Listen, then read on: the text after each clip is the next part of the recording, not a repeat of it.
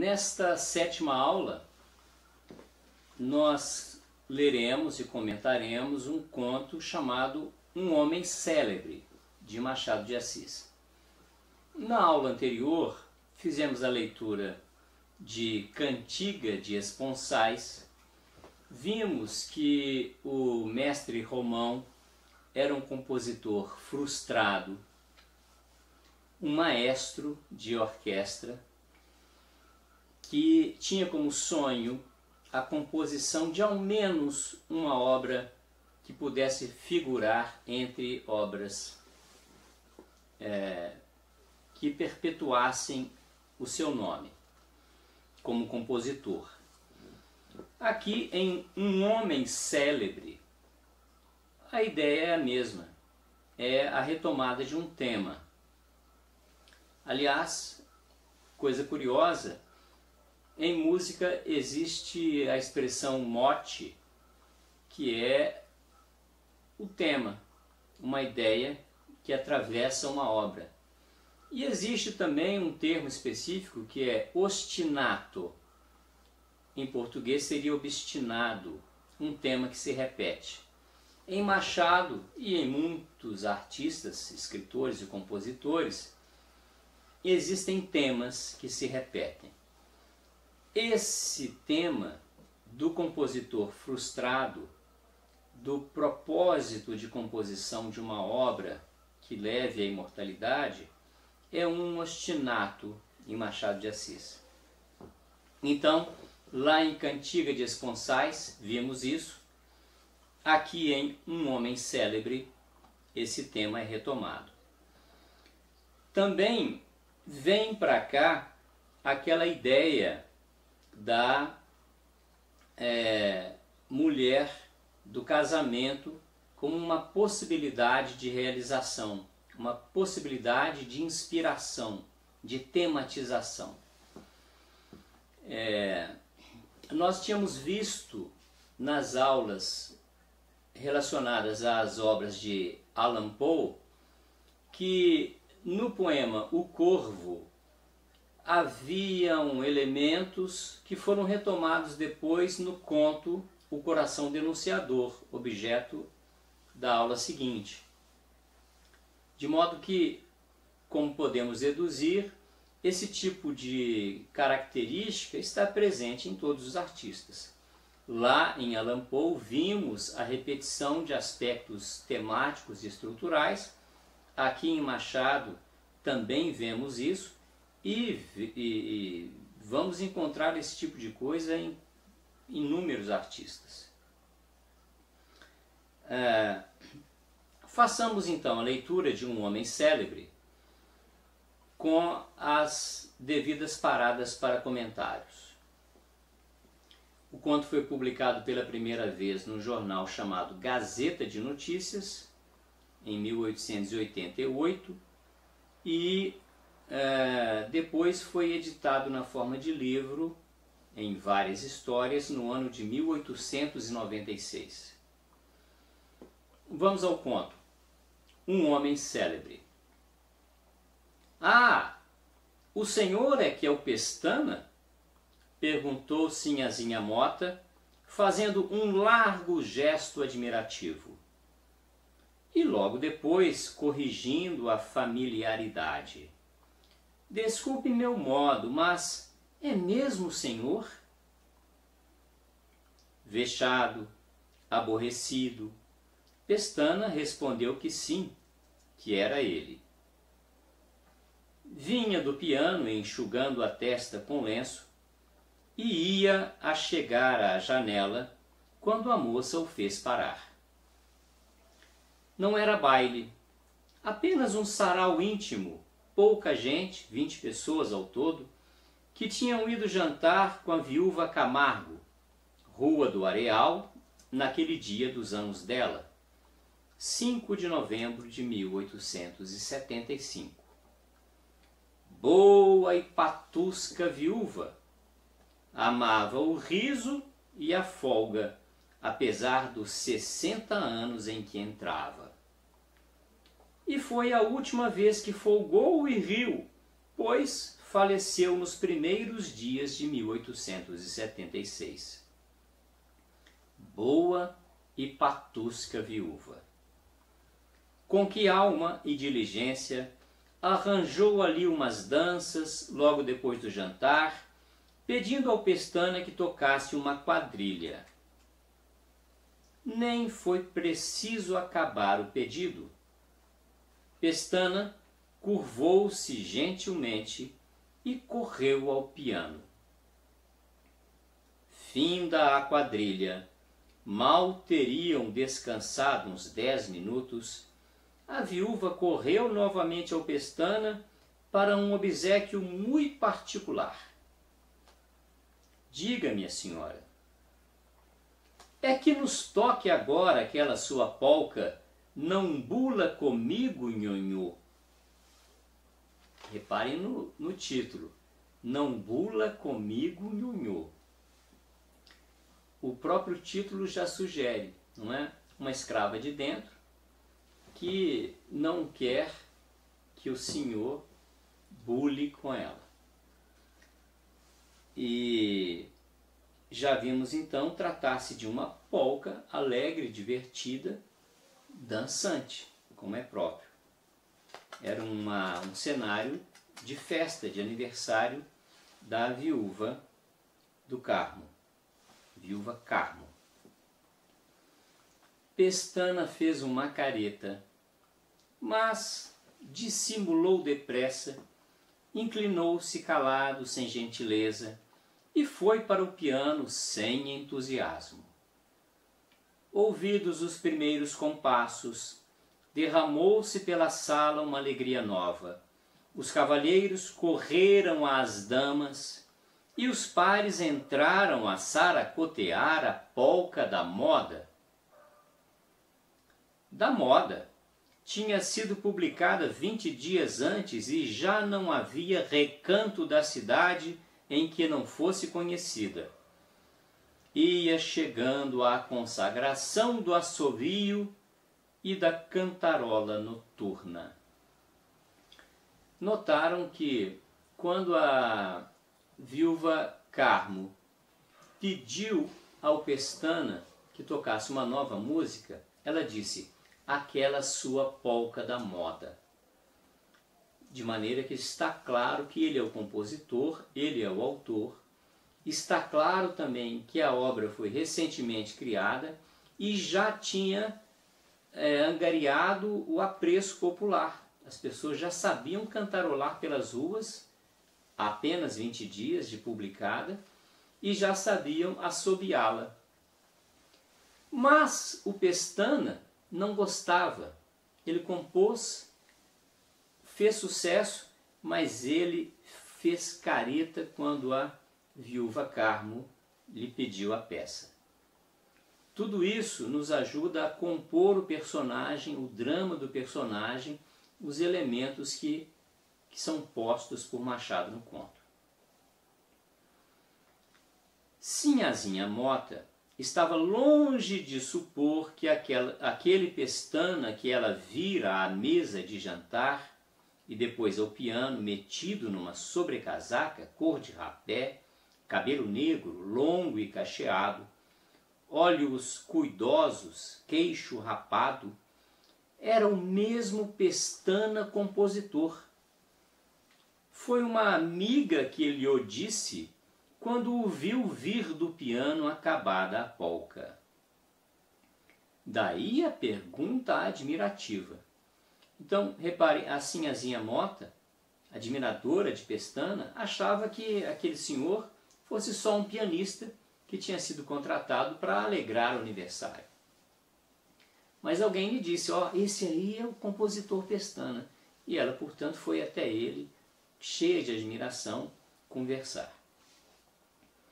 Vimos que ele respondeu aborrecido e vexado.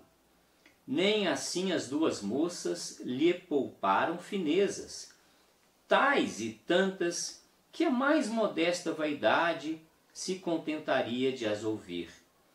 Ele recebeu-as cada vez mais enfadado, até que, alegando dor de cabeça, pediu licença para sair nem elas, nem a dona da casa, ninguém logrou retê-lo.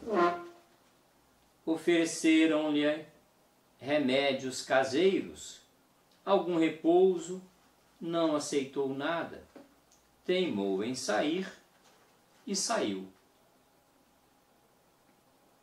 Rua fora, caminhou depressa, com medo de que ainda o chamassem. Só afrouxou depois que dobrou a esquina da Rua Formosa, mas aí mesmo é que esperava-o a sua grande polca festiva. De uma casa modesta à direita, a poucos metros de distância, saíam as notas da composição do dia, sopradas em clarineta. Dançava-se. Pestana parou alguns instantes, pensou em arrepiar caminho, mas dispôs-se a andar. Estugou o passo, atravessou a rua e seguiu pelo lado oposto ao da casa do baile. As notas foram se perdendo ao longe e o nosso homem entrou na rua do aterrado onde morava. Já perto de casa, viu vir dois homens. Um deles, passando rentezinho com pestana, começou a assobiar a mesma polca, rijamente, com brilho, e o outro pegou a tempo na música, e aí foram os dois abaixo, ruidosos e alegres, enquanto o autor da peça, desesperado, corria a meter-se em casa. Em casa, respirou. Casa velha, escada velha, um preto velho que o servia e que veio saber se ele queria cear. Não quero nada, disse o Pestana faça-me café e vá dormir. Despiu-se, enfiou uma camisola e foi para a sala dos fundos. Quando o preto acendeu o gás da sala, Pestana sorriu e, dentro d'alma, cumprimentou uns dez retratos que pediam, pendiam da parede. Um só era a óleo o de um padre, que o educara, que lhe ensinara latim e música, e que, segundo os ociosos, era o próprio pai do Pestana. Certo é que lhe deixou em herança aquela casa velha e os velhos trastes, ainda do tempo de Pedro I. Compusera alguns motetes o padre era doudo por música, sacra ou profana, cujo gosto incutiu no moço ou também lhe transmitiu no sangue, se é que tinham razão as bocas vadias, coisa de que se não ocupa a minha história como ides ver. Os demais retratos eram de compositores clássicos, Mozart, Beethoven, Bach, Schumann e ainda uns três, alguns gravados, outros litografados, todos mal encaixilhados e de diferente tamanho, mas postos ali como santos de uma igreja. O piano era o altar. O evangelho da noite lá estava aberto era uma sonata de Beethoven. Veio o café, Pestana engoliu a primeira xícara e sentou-se ao piano. Olhou para o retrato de Beethoven, começou a executar a sonata sem saber de si, desvairado ou absorto, mas com grande perfeição repetiu a peça. Depois parou alguns instantes. Levantou-se e foi a uma das janelas. Tornou ao piano Era a vez de Mozart. Pegou de um trecho, executou-o do mesmo modo, com a alma alhures. Haydn levou-o à meia-noite e à segunda xícara de café. Entre meia-noite e uma hora, Pestana pouco mais fez que estar à janela e olhar para as estrelas, entrar e olhar para os retratos. De quando em quando ia ao piano e, de pé, dava uns golpes soltos no teclado, como se procurasse algum pensamento. Mas o pensamento não aparecia. E ele voltava a encostar-se à janela. As estrelas pareciam-lhe outras tantas notas musicais fixadas no céu, à espera de alguém que as fosse descolar. Tempo viria em que o céu tinha de ficar vazio, mas então a terra seria uma constelação de partituras. Nenhuma imagem, desvario ou reflexão trazia uma lembrança qualquer de Sinhazinha Mota, que entretanto a essa mesma hora adormecia pensando nele, famoso autor de tantas polcas amadas. Talvez a ideia conjugal tirou à moça alguns momentos de sono. Quietinha. Ela ia em vinte anos, ele em trinta. Boa conta. A moça dormia ao som da polca ouvida de cor, enquanto o autor desta não cuidava nem da polca nem da moça mas das velhas obras clássicas, interrogando o céu e a noite, rogando aos anjos, em último caso, ao diabo. Por que não faria ele uma só que fosse daquelas páginas imortais? Então notem que há neste conto muitos elementos lá da cantiga de Esponsais. Outra coisa, lá em Cantiga nós tínhamos o Romão, que era visto popularmente como um grande regente, um grande músico de peças é, sacras, mas que na intimidade, lá no seu cenário íntimo, em casa, era um homem é, deprimido, melancólico, como disse Machado. É, e grande, o grande elemento de frustração era a incapacidade evidente de compor uma peça erudita. Aqui, em Um Homem Célebre, temos o mesmo. Na, na rua, o Pestana era conhecido, famoso, as moças o admiravam, é, ele era um homem aparentemente realizado, porque era um compositor famoso de polcas, mas na intimidade ele amava mesmo, era a música erudita e queria tanto quanto o mestre Romão a fama através de uma peça é, clássica que o imortalizasse. Então, esse, essa impotência está presente nas duas obras. Continuemos. Às vezes, como que ia surgir das profundezas do inconsciente uma aurora de ideia. Ele corria ao piano para aventá-la inteira, traduzi-la em sons, mas era em vão.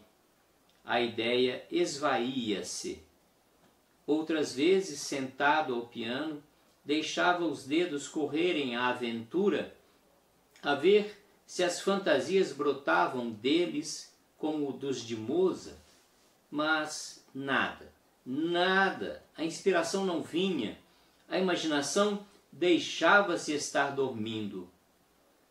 Se acaso uma ideia aparecia, definida e bela, era eco apenas de uma peça alheia que a memória repetia e que ele supunha inventar. Então, irritado, erguia-se, jurava abandonar a arte, ir plantar café ou puxar carroça, mas, daí a dez minutos, ei-lo outra vez com os olhos em Mozart a imitá-lo ao piano. Uma outra coisa importante que é preciso ver aqui é que o cenário íntimo da casa foi comparado a um ambiente sacro. Reparem que a, o conto começa com o protagonista num ambiente profano. Ele estava numa festa de aniversário de uma senhora, de uma senhora alegre, uma viúva patusca. É... E aqui o piano já foi comparado a, ao altar, as partituras já foram comparadas ao evangelho do dia e os quadros dos compositores já foram comparados aos santos católicos. De maneira que é uma ambientação mais intimista e mais sacral, não é? Duas, três, quatro horas. Depois das quatro, foi dormir. Estava cansado, desanimado, morto. Tinha que dar lições no dia seguinte. Ele era professor de piano. Pouco dormiu, acordou às sete horas, vestiu-se e almoçou. Meu senhor quer a bengala ou o chapéu de sol? Perguntou o preto, segundo as ordens que tinha, porque as distrações do senhor eram frequentes. A bengala. Mas parece que hoje chove. Chove, repetiu Pestana maquinalmente. Parece que sim, senhor. O céu está meio escuro. Pestana olhava para o preto, vago, preocupado. De repente, espera aí. Correu à sala dos retratos, abriu o piano sentou-se e espalmou as mãos no teclado. Começou a tocar alguma coisa própria, uma inspiração real e pronta, uma polca, uma polca buliçosa, como dizem os anúncios. Nenhuma repulsa da parte do compositor. Os dedos iam arrancando as notas, ligando-as, meneando-as. Dir-se-ia que a musa compunha e bailava a um tempo. Pestana esquecera as discípulas, esquecera o preto, esquecera, esquecera o preto que o esperava com a bengala e o guarda-chuva, esquecera até os retratos que pendiam gravemente da parede. Imaginem, chegou a inspiração para polcas a ponto tal que ele esqueceu aquilo que era o grande sonho, que eram os santos da música erudita.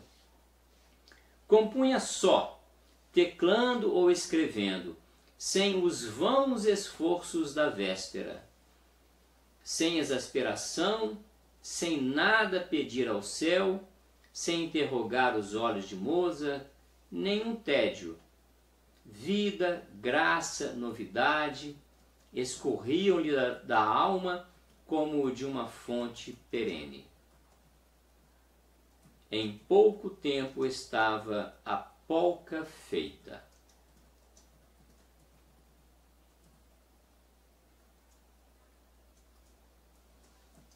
Compunha só, teclando ou escrevendo, sem exasperação, sem nada pedir ao céu, sem interrogar os olhos de Mozart nenhum tédio. Vida, graça, novidade escorriam-lhe da alma como de uma fonte perene. Em pouco tempo estava a polca feita, corrigiu ainda alguns pontos, quando voltou para jantar, mas já a cantarolava andando na rua. Gostou dela. Na composição recente e inédita, circulava o sangue da paternidade e da vocação. Dois dias depois foi levá-la ao editor das outras polcas suas, que andariam já por umas trinta. O editor achou-a linda. Vai fazer grande efeito. Veio a questão do título. Pestana, quando compôs a primeira polca em 1871, quis dar-lhe um título poético. Escolheu este, Pingos de Sol. O editor abanou a cabeça e disse-lhe que os títulos deviam ser, já de si, destinados à popularidade, ou por alusão a algum sucesso do dia, ou pela graça das palavras. Indicou-lhe dois: a lei de 28 de setembro ou candongas não fazem festa? Mas que quer dizer candongas não fazem festa? perguntou o autor. Não quer dizer nada, mas populariza-se logo. então notem que a preocupação do editor é a de tratar a, a peça, a composição, como um, um produto, um objeto de mercado. Não é?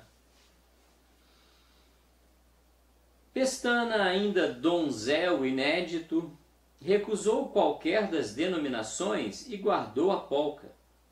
Mas não tardou que compusesse outra, e a comichão da, da publicidade levou-o a imprimir as duas, com os títulos que, o editor que ao editor parecessem mais atraentes ou apropriados. Assim se regulou pelo tempo adiante. Agora, quando Pestana entregou a nova polca e passaram ao título, o editor acudiu que trazia um, desde muitos dias, para a primeira obra que se lhe apresentasse, título de espavento, longo e meneado. Era este: Senhora Dona, guarde o seu balaio. E para a seguinte acrescentou: Já trago outro de cor. Exposta à venda, esgotou-se logo a primeira edição. A fama de compositor bastava à procura, mas a obra em si mesma era adequada ao gênero, original, convidava a dançá-la e decorava-se depressa em oito dias estava célebre. Pestana, durante os primeiros, andou deveras namorado da composição. Gostava de a cantarolar baixinho. Detinha-se na rua para ouvi-la tocar em alguma casa e zangava-se quando não a tocavam bem. Desde logo as orquestras de teatro a executaram e ele foi a um deles. Não desgostou também de a ouvir assobiada, uma noite, por um vulto que descia a rua do aterrado. Essa lua de mel durou apenas um quarto de lua. Como das outras vezes, e mais depressa ainda, os velhos mestres retratados o fizeram sangrar de remorsos vexado e enfastiado. Pestana arremeteu contra aquela que o viera consolar tantas vezes, musa de olhos marotos e gestos arredondados, fácil e graciosa.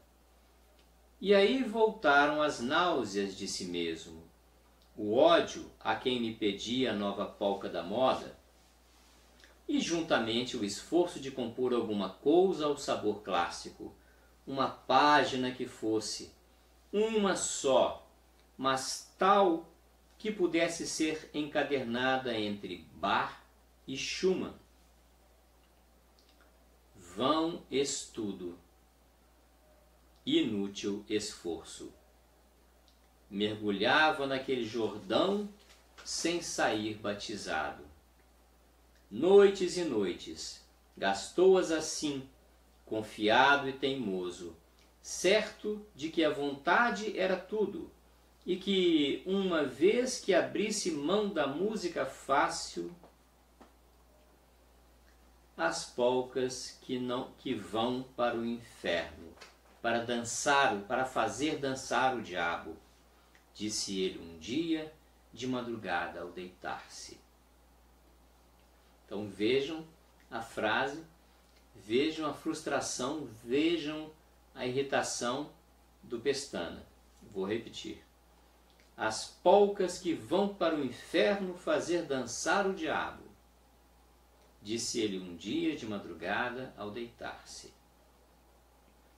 Mas as polcas não quiseram ir tão fundo.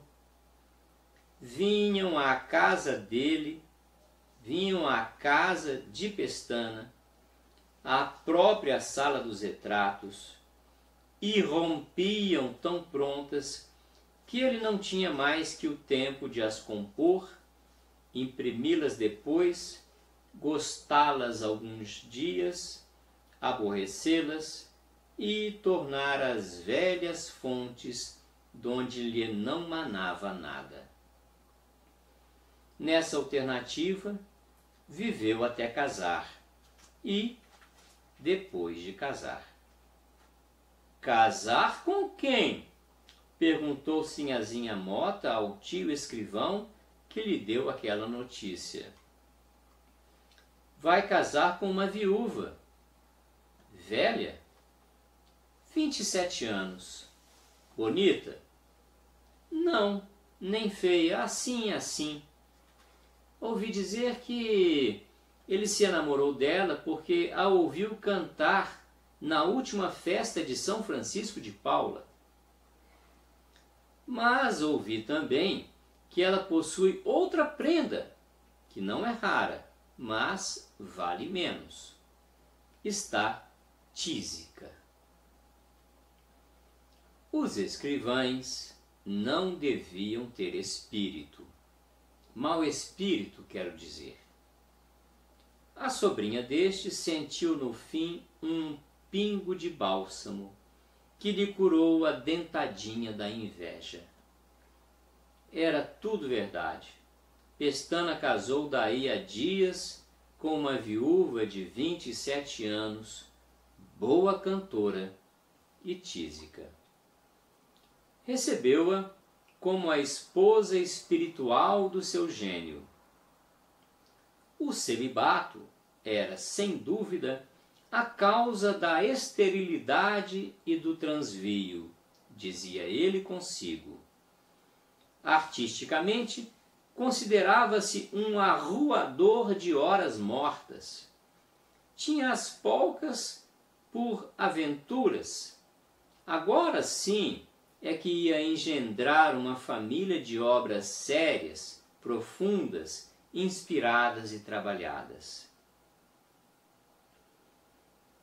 Essa esperança abotoou desde as primeiras horas do amor e desabrochou a primeira aurora do casamento. Maria balbuciou a alma dele. Maria balbuciou a alma dele. Dá-me o que não achei na solidão das noites, nem no tumulto dos dias. Desde logo, para comemorar o consórcio, teve ideia de compor um noturno. Chamar-lhe-ia Ave Maria.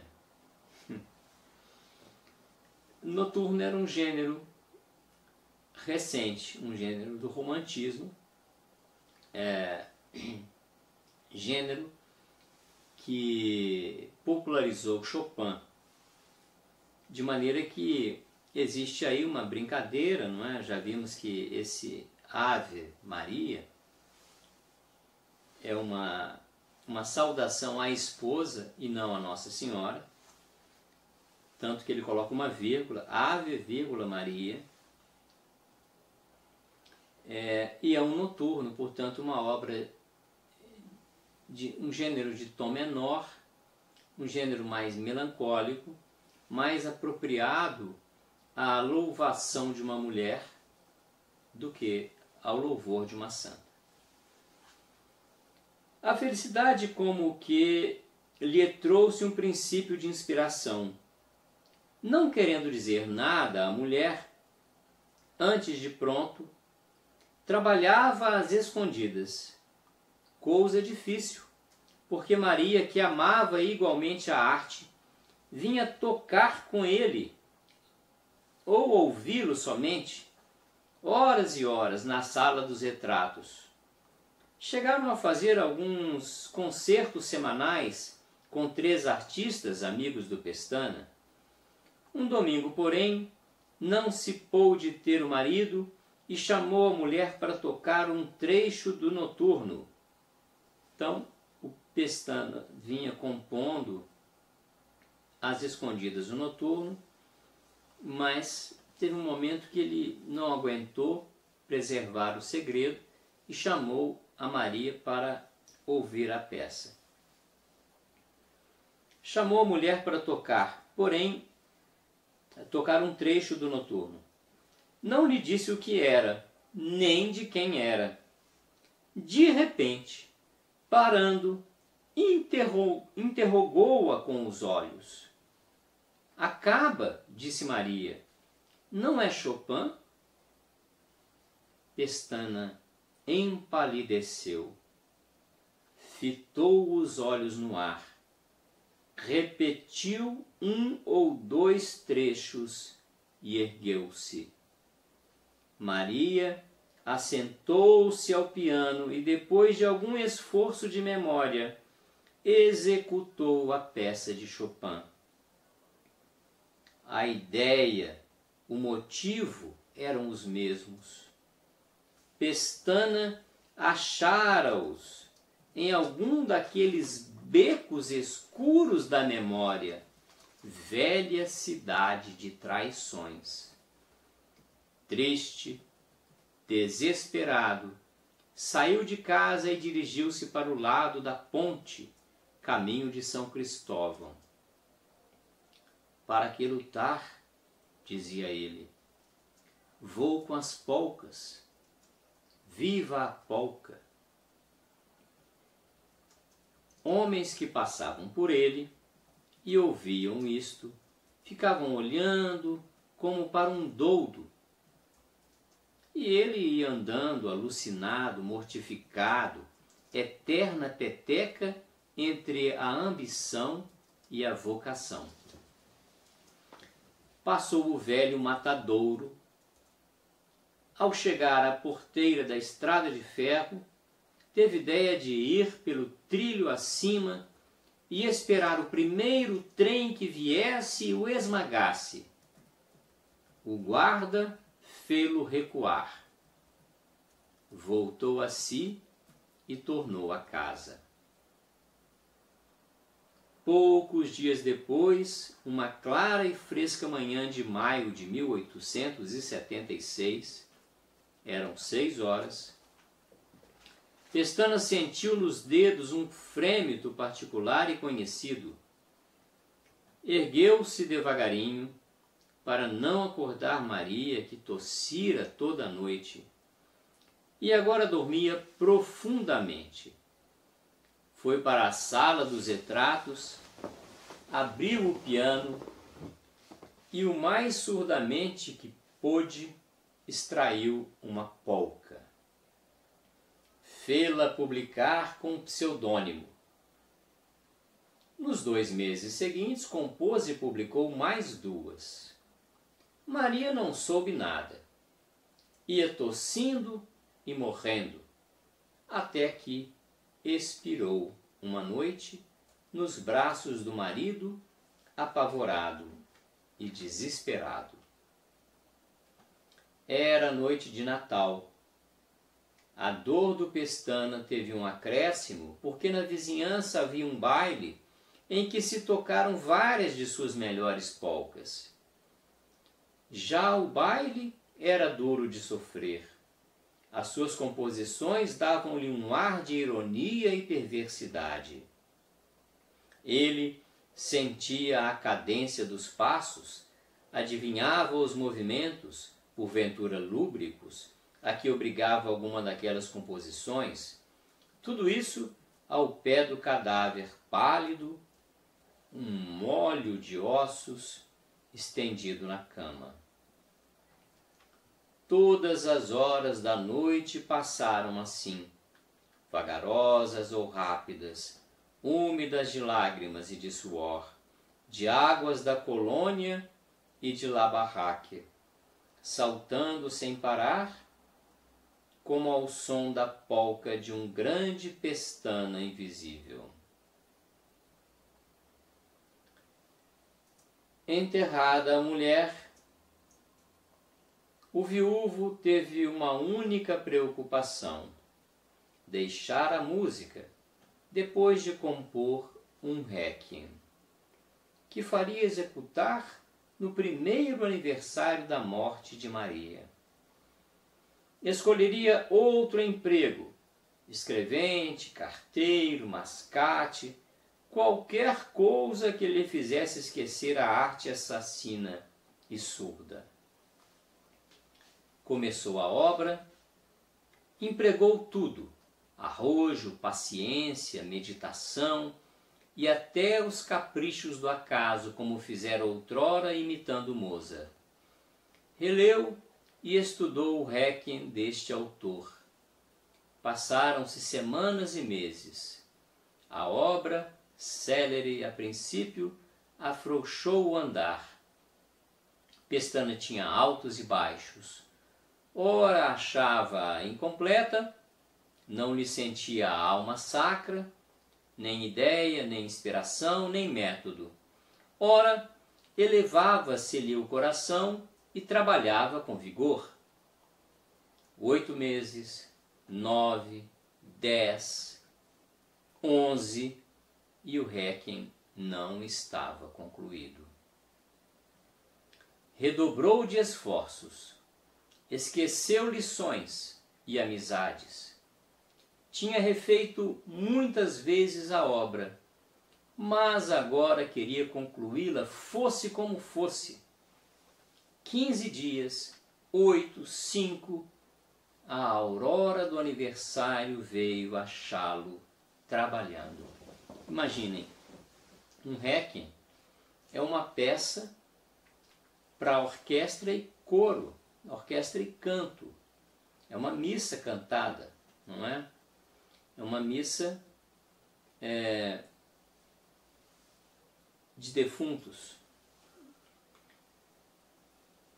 E ela exigiria, portanto, tempo de ensaio. A orquestra precisaria ensaiar, os cantores precisariam ensaiar, conhecer a partitura, os copistas precisariam de tempo para fazer as várias cópias manuscritas das partituras. E, no entanto, nem na aurora, no, amanhecer do dia de aniversário de primeiro ano da Maria, de morte da Maria, o Requiem estava pronto para comemorar para celebrar, melhor dizendo, aquele aniversário de morte. Portanto, seria impossível executar o requiem. Contentou-se da missa rezada e simples, para ele só. Não se pôde dizer se todas as lágrimas que lhe vieram sorrateiramente aos olhos foram do marido ou se algumas eram do compositor. Certo é que nunca mais tornou ao Requiem.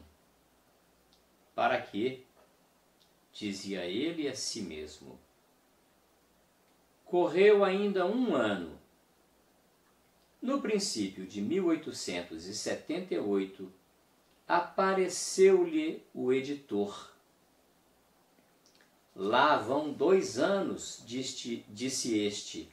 Lá vão dois anos que nos não dá um ar da sua graça. Toda a gente pergunta se o Senhor perdeu o talento. Que tem feito?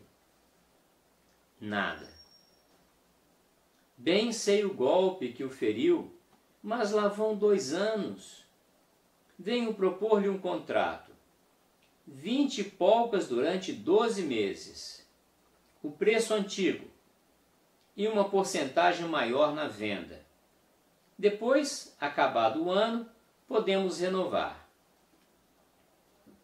Pestana assentiu com um gesto. Poucas lições tinha, vender a casa para saldar dívidas, e as necessidades iam comendo o resto, que era assaz escasso. Aceitou o contrato. Mas a primeira polca há de ser já, explicou o editor. É urgente. Viu a carta do imperador ao Caxias? Os liberais foram chamados ao poder. Vão fazer a reforma eleitoral a polca há de chamar-se Bravos à Eleição Direta. Não é política, é um bom título de ocasião. Pestana compôs a primeira obra do contrato. Apesar do longo tempo de silêncio, não perdera a originalidade nem a inspiração. Trazia a mesma nota genial as outras polcas vieram vindo regularmente. Conservara os retratos e os repertórios, mas fugia de gastar todas as noites ao piano para não cair em novas tentativas. Já agora perdia uma entrada de graça sempre que, que havia alguma boa ópera ou concerto de artista Ia, metia-se a um canto, gozando aquela porção de coisas que nunca lhe haviam de brotar do cérebro. Uma ou outra vez, ao tornar para casa, cheio de música, despertava nele um maestro inédito. Então, sentava-se ao piano e, sem ideia, tirava algumas notas até que ia dormir vinte ou trinta minutos depois. Assim, foram passando os anos até 1885. A fama do Pestana dera-lhe definitivamente o primeiro lugar entre os compositores de polcas. Mas o primeiro lugar da aldeia não contentava este César que continuava a preferir-lhe não o segundo, mas o centésimo em Roma. Imagina, este imperador das polcas preferiria o centésimo lugar de Roma, com um cenário clássico, que o segundo ou primeiro de uma vila de polcas. Tinha ainda as alternativas de outro tempo acerca de suas composições. A diferença é que eram menos violentas. Nem entusiasmo nas primeiras horas, nem horror depois da primeira semana. Algum prazer e certo fastio. Naquele ano, apanhou uma febre de nada, que em poucos dias cresceu até virar perniciosa. Já estava em perigo quando lhe apareceu o editor que não sabia da doença e ia dar-lhe a notícia da subida dos conservadores e pedir-lhe uma polca de ocasião. O enfermeiro, pobre clarineta do teatro, referiu-lhe o estado do Pestana de modo que o editor entendeu calar-se. O doente é que instou para que lhe dissesse o que era. O editor obedeceu. Mas há de ser quando estiver bom de todo, concluiu.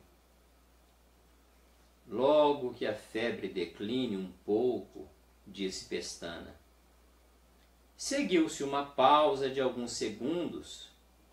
O clarineta foi pé ante pé preparar o remédio. O editor levantou-se e despediu-se. Adeus. Olhe, disse o Pestana, como é provável que eu morra por estes dias, faço-lhe logo duas polcas. A outra servirá para quando subirem os liberais. Foi a única pilhéria, a única brincadeira que disse em toda a vida. E era tempo, porque expirou na madrugada seguinte, às quatro horas e cinco minutos, bem com os homens e mal consigo mesmo. Então, reparem na, nesse espírito trágico do personagem machadiano, com um sonho que atravessa toda a vida e a grande frustração de não realização do sonho. Essa, esse elemento da impotência, do, do espírito trágico, ele está presente nos três contos é, relacionados, ligados pela música. Cantiga de Esponsais, um homem célebre e trio em Lá menor. Na próxima aula, leremos o trio em Lá menor, que é a obra-prima dessa desse trio de contos, cujo tema central é a música erudita e, em particular, até a, a bitematização beethoveniana. Veremos isso com mais cuidado na próxima aula sobre o trio em Lá menor. Espero que tenham gostado. Obrigado e até lá.